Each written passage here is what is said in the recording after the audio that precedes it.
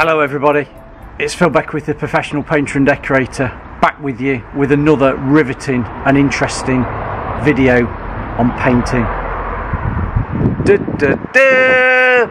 Yeah, we have a laugh about watching paint dry, cricket, all the boring stuff, but hey ho. Um, today, we've got the HVLP out.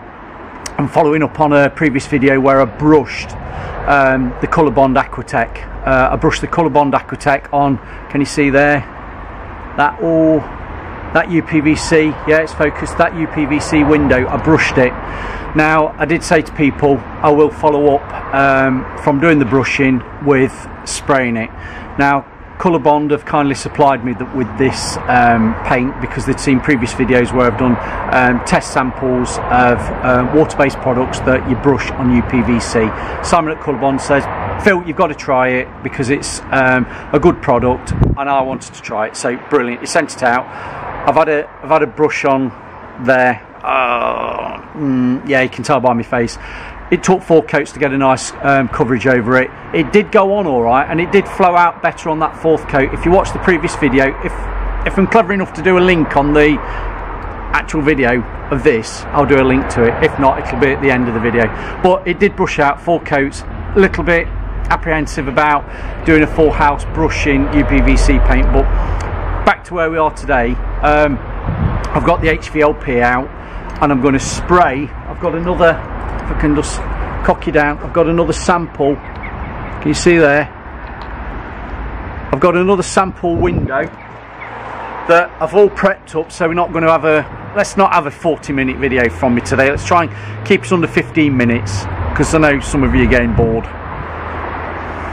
how can I cram 40 minutes worth of information into 15 minutes. I just don't know I just don't know. But joking aside I prepped it all up ready. Um, I've gone over it with all the cleaners that KolorBond supply. That's that water-based 3-in-1 oh well 3-in-1 3 to 1 ratio cleaner. Um, I suds it all down dry it all off and then you go over it with the the window the final that can you see that? The window prep which is like the cellulose cleaner. So I've done all that. I've got it all taped up for you. And my plan is because this still takes about 15 to 20 minutes to dry. The weather's a bit overcast but it, I wouldn't say it's cold. I've got a bit of a breeze so if needs be I'll stop the video and move it inside just to get a bit, a bit more warmth on it but we're not going to worry about that. So my plan is today I'm going to do what I said to do. I'll give you HVLP opinion spraying this KolorBond AquaTek now I'm going to do the same principle that I do when I do my other spraying with um, KolorBond. I do a light coat, so I dial down the, the needle, well the needle, it's the, the paint flow, so it gives me more of a mist. The first coat will be a mist coat, and then I'll build up from there. Now I've not thinned the paint, I've not thinned the paint, not added any water to it.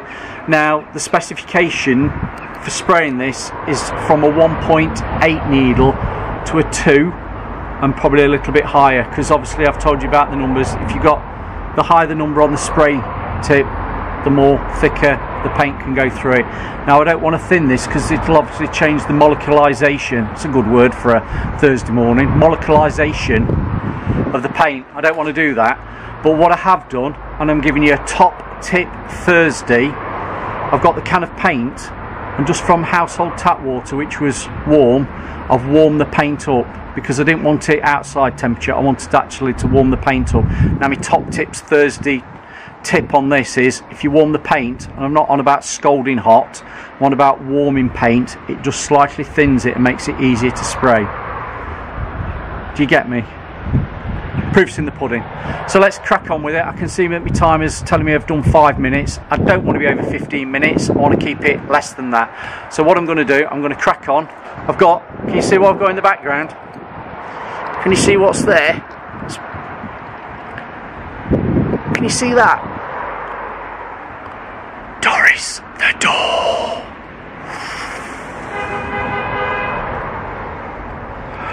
Back with you, back in the room.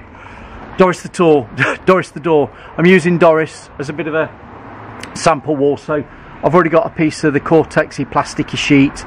I've done some sample sprays of my sprayer so I know that I'm alright. Now back to my HVLP, it's a stage 5, it's a QT5. if you've got it set up like I've shown you on previous videos I don't want to go over setting up an HVLP now but your airflow control should be the nearest to the gun now this is where if you find you've got too much airflow just slightly knock it down by reducing the airflow. That will come down to the paints that you're using and your experience to say whether you need to change the airflow whether you want full airflow or just reduce it down so it's not getting clouds of dust. I'm outside I'm not too worried. I've got my mask you know my Sundstrom mask. That's another video but it over 30 years. And again another video. It's not the same filters it's just the same mask. Filters get changed regular. So yeah let's crack on I'm going to spray. A light mist coat. Bear with me. It's not it's not inside spray booth um, environment. I'm outside. So just bear with me and let's see how we go. Right maestro can you turn me the machine on? It's not doing it. My apprentice is not doing it. Yeah. £9.50 an hour you're on now. £9.50 for turning the machine on. Get on with it just can't get the staff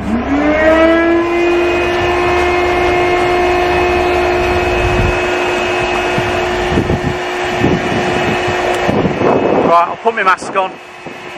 I'll just do a bit of a test spray to make sure my flow's alright and then we'll go for a mist coat.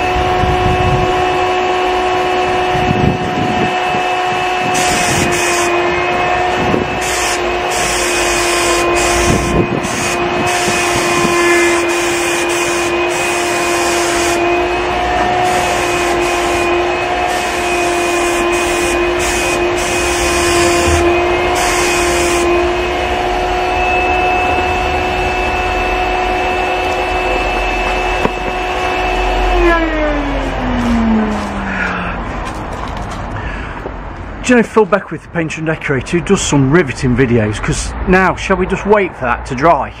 I think we can wait for it to dry. But what I'll do, take my mask off, it's there. Not that I really needed it outside for a two second video. I'll just take you off the camera and let's just show you what I've done. Now, again, I say bear with me. This is the first time I've used this product for spraying it. I know my HVLP inside and out. I know how to work that. I know it sprays nice, but I'll flip the camera. Let's have a look. I've literally, can you see? I've just got a splatter coat on and that's why I call it a splatter coat.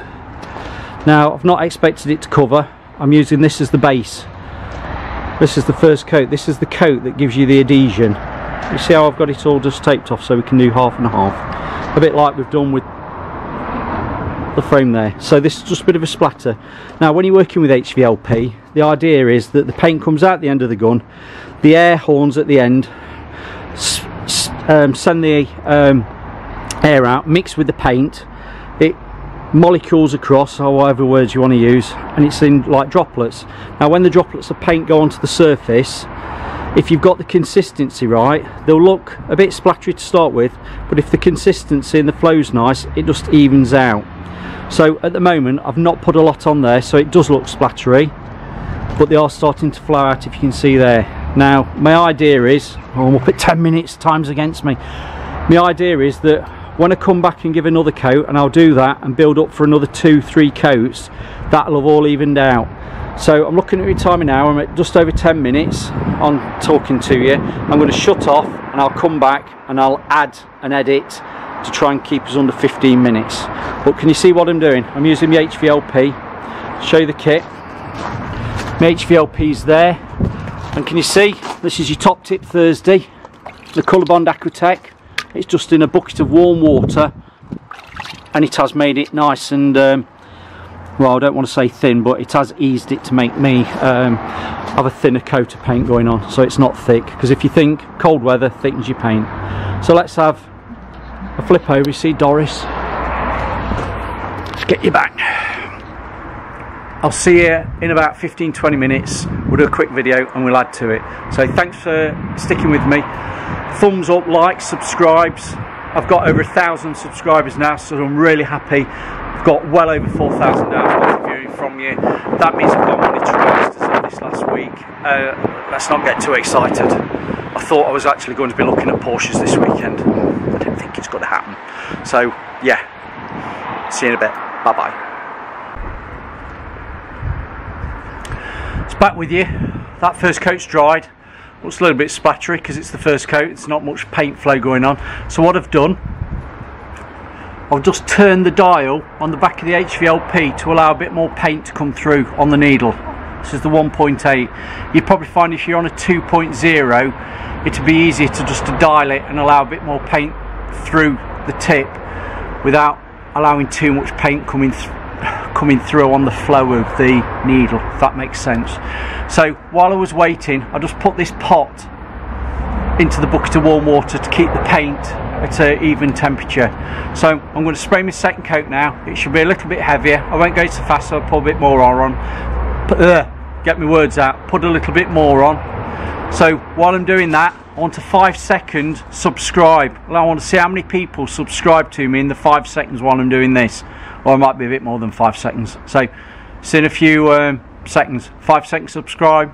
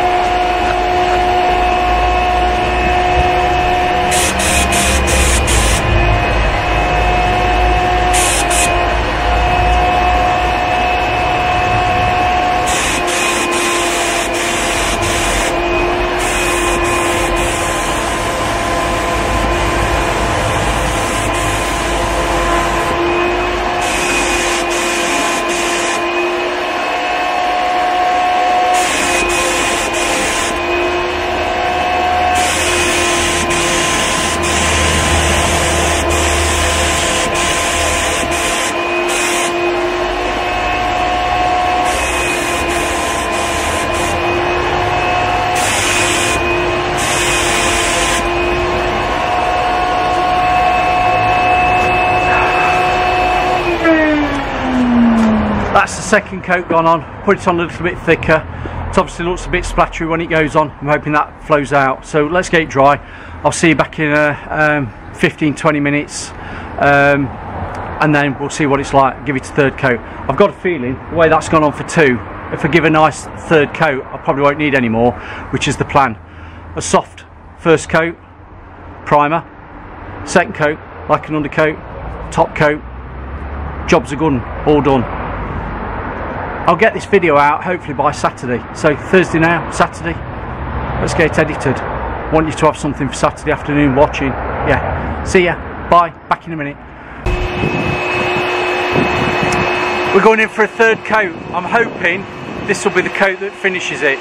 Now what I would say is just dial your needle to allow a little bit more paint through the flow make sure you get the edges because obviously after the second coat you'll just check around like I've done. This is a demo panel so I'm not going to be too critical about if we've got a little bit of a missed edge. But don't forget this KolorBond, you can go over those rubbers. So on the edges there, we're not worried if a bit of paint goes on those edges because you can get the KolorBond to stick to that. Now those edges around there might look a little bit missed because I didn't make sure I covered them. So this coat I will cover them. Again, if you're doing a proper job and not a demo board, you would be making sure you're doing that anyway. So don't pick up on that, that have missed bits. I haven't, I've already seen them. So let's get this third coat on. A little bit more paint's going on. I'm going to, I'm going to go a little bit slower to make sure that the paint goes on nicely and it'll flow out. It's been in that water bucket, warm paint, we're good to go. Right, see you in a few seconds.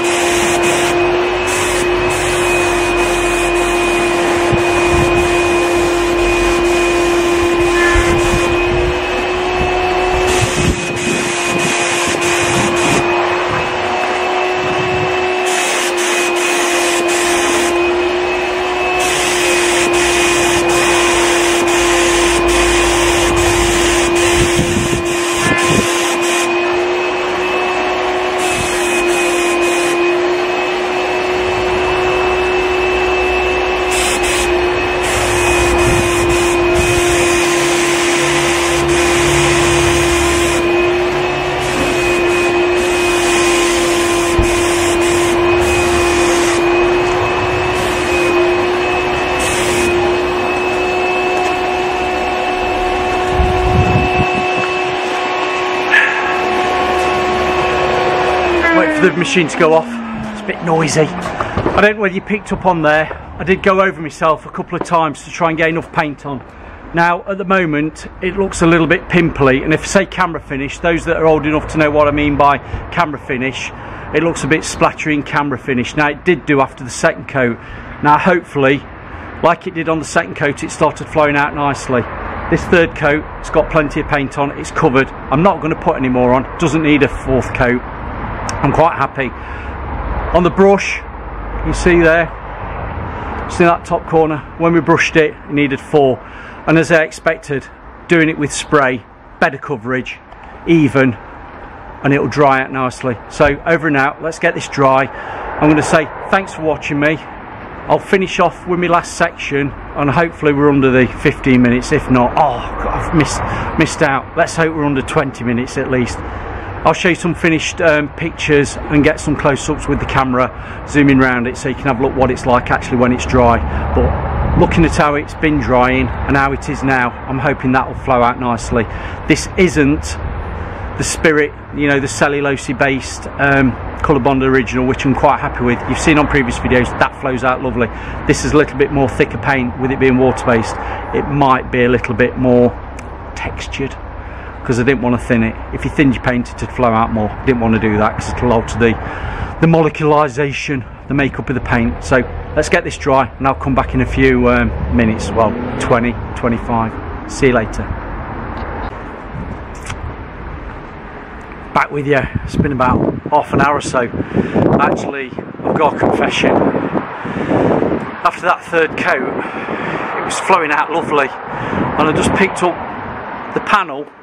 You know, I'd got it all protected with that card. Just picked up that panel, the wind blew, blew my card protector over, and touched all my surface. So I quickly got it back down while I'd still got my paint pot out because it had just marked it. It hadn't scratched through it, I could just see where it had touched. I just wafted over the top just to try and get it even. So I don't want to call it a fourth coat because it was far from a fourth coat. But I did, I did, I can't even say my words.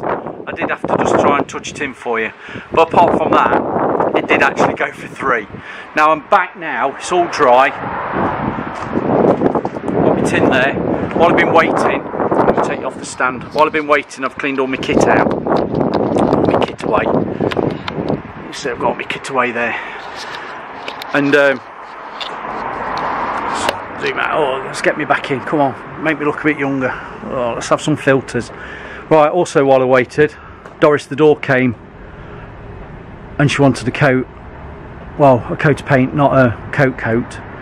So uh, I ran a tape edge down, went from top to bottom, um, just using that KolorBond AquaTek just to see what it was like going over that Hague blue of the Farrow & Ball which that was real Hague blue Farrow & Ball previous video I showed you how to rub a door down. Riveting stuff. But yeah that's one coat of this AquaTek KolorBond going over that door. It's not something you'd use but I just want to see what it sprayed like. And it's gone on lovely. Let's get you a bit closer. You see that's nice coat. You can't really see it on a camera can you? You've just got to take my word for it. So yeah back to what I've done. I've gone away from 15 minutes. I'm thinking more on to 20 but let's let's just have a look at that um, new PVC that I've sprayed now flip you over. Now this this one is where I took off the paper. You can see where I've took the paper off. You can feel it there. Now this is three coats. I know albeit just a waft us where it would touch there. I just wafted it in so it's probably gone a bit flat. Hey ho but yeah I would say if you can just see a little bit of a camera finish it's still drying. Still drying yeah it is nearly dry but it's still drying a little bit of a camera finish but it is flowing out a lot better than I thought I would say a bit more practice because this is a practice board. It's always good to do a practice with new products and that's what I'm doing and I'm doing it for you. Would I put it on a little bit thinner? Probably not. It was alright thicker. Would I thin it slightly? I prob yeah, I possibly would just put a touch of water into it, particularly on a day like today where the air's it's not warm. I've had to warm my paint with uh, a bucket of water I would think it would just get a splash of water and that flowing out of that bit of a camera finish. I know you can see, a bit of a pimply. It's not focusing. Come on. It's not focusing. Would go. But do you know what? As a spray paint, I'm quite impressed with it. I'd get that a lot better if I was doing it not on a sample board. I'd get a bit of thin, thinner paint going on, flow it out, three coats is ideal. Let's swap across to what I did the other week, well last week. This was the brush. Can you see the brush marks? That was four coats. Not happy with that. It's ideal. As I said to Simon this week, I've emailed him. I've said it's got its place.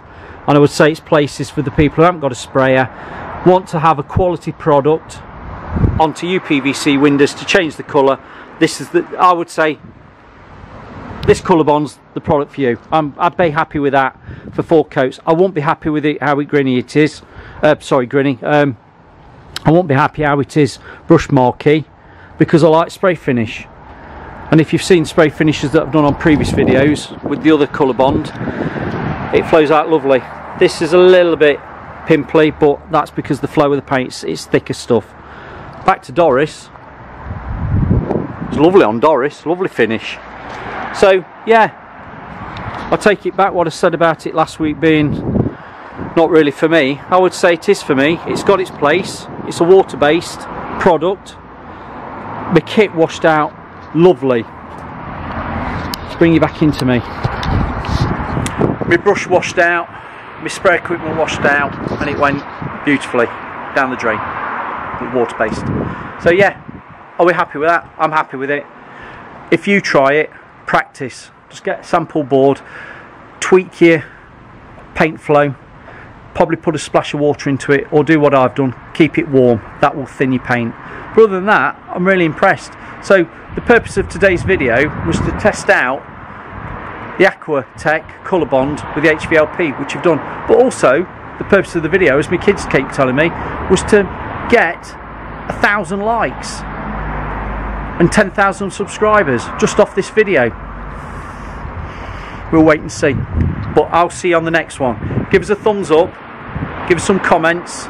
Be nice to get some comments on what videos you'd like me to do in the future. I know some of you do message me uh, privately on Instagram and also Facebook but yeah let's let's move forward. We've gone over the thousand people that subscribe to me now.